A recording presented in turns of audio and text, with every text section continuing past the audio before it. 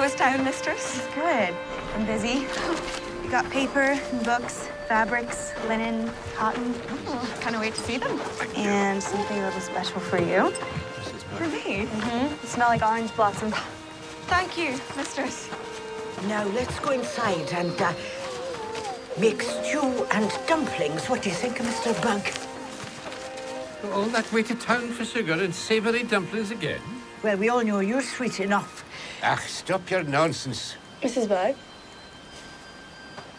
Where did Jemmy get this?